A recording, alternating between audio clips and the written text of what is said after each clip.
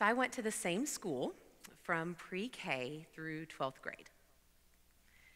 I met my best friend when I was two years old in toddler tumbling. Our parents took us to gymnastics together, and then that was just kind of that. I've had one boyfriend my entire life. Uh, we met in the eighth grade, and he is now my husband. I know. When I lived, when I lived in Memphis, I actually worked at the same school as my sister, and I was next door neighbors with my mom. So, while it's fair to say that I often exhibit a lot of outward enthusiasm and energy, um, I'm really quite an introverted and reserved person. And so when I thought of the road less traveled in the poem and you know all that kind of goes into that, it makes me feel a little overwhelmed and a little intimidated. You know, like here I am standing at this fork in the road. You know, do I choose left or do I choose right? Some kind of really big moment that's going to be life altering and changing, right? Some decision that is bold and unique and different. And while I think that many, many people have had an experience like that, everyone has not. But why does the road less traveled have to be like this? Why does it have to be one big moment that kind of changes your life? What if each and every one of us are all walking on the road less traveled? We are all walking on a road never traveled. And it looks a lot less like a road and more like a jungle.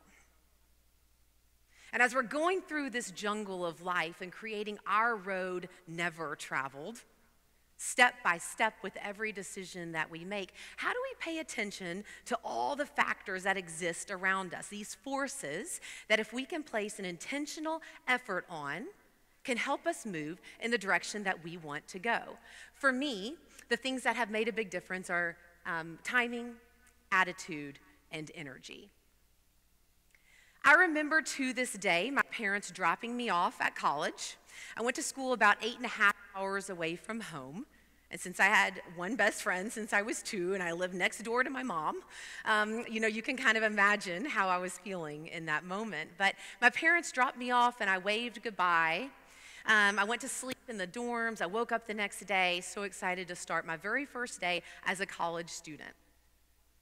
The date of my first day of school was September the 11th, 2001. So, timing. Daniel Pink wrote a book called When. Instead of a how to book, it's a when to book. And I thought it was so interesting, right? Like, he told us what we all know, which timing is everything. And time exists, whether you are going to focus on it or not. So the challenge for me became how am I going to focus on this event in my life to move my journey forward?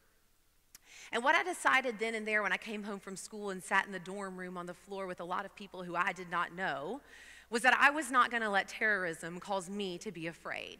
And instead, I was going to travel the world. I was going to live in new places and meet new people. And so I decided to travel abroad. I decided that I was going to go and live in Spain. I then went on and lived in Costa Rica a number of times. And after traveling and living in other countries and learning Spanish, I decided I really want to be a teacher. So I became a teacher. Um, and teaching has, has now always been my passion. It's something that really, really means a great deal to me. I worked in a school that I loved. Um, and so when they announced that they were going to be hiring for a middle school principal, I was like, I'm going to apply for this job. So I did. I, you know, I applied for the job. I did the interview. I went to the committee meetings. And then I waited and I waited and I waited. And I actually found out that I did not get that job uh, whenever they sent an email to the whole school announcing all the finalists who would be coming to visit. So it was really embarrassing. Um, and I felt discouraged and kind of confused and disappointed. But I decided then and there well, I can focus on the negative or I can have a positive attitude. I spoke to the head of the school. I got some clarification. I kept working really hard. And a month later, they said, You know what, though? We think you'd be a great assistant. So they moved me into the of assistant principal. They later asked me to be the principal of that school. I worked there for a number of years. Um, I felt really enriched. I felt like I um, also helped the community move forward. But eventually, this energy in me started to change. I was like, I want to do something new, I want to do something different. So my husband and I decided to take the leap of faith, accept a new job, and move to Florida. We moved about a thousand miles away from home, and the idea of energy really started to come to mind. So, have any of you ever moved, like packed up boxes and moved your things? All right, so you know it's like something like this like nice, neat boxes, everything's bubble wrapped, put in its place, it's taped and it's labeled, it's full of hopes and dreams and joys and wishes. And then all of a sudden you get to the last box and you're like, okay, spatula, my toothbrush, and dog food. All right, put this in the U Haul right? So that's what we did. Uh, we traveled a thousand miles from Memphis, Tennessee to South Florida. And a few days later, I realized, you know what? That physical energy is nothing compared to the mental energy of making a move like that. And I started having a lot of um, fears and anxieties and worries. You know, what if I didn't like this job? And what if I didn't make any friends? And what if I just always missed my family as much as I miss them right now?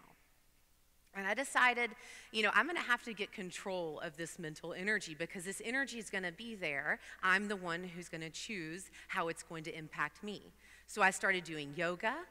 I started doing meditation, practicing, practicing mindfulness, and showing gratitude for the things that I had that I enjoyed. I even moved to the beach right? And because of controlling my mental energy, um, I found that I was able to have success that I'm able to stand before you today saying that I get to work with and support and inspire and be inspired by 350 to 400 middle school teachers and students every single day. And so that is now where I am standing directly in front of you on my road never traveled. But by focusing on timing and attitude and energy, we are all able to create our own unique journey. It's little by little and inch by inch, brick by brick, and step by step that we are all taking our own road never traveled. And it's really quite the journey. Thank you.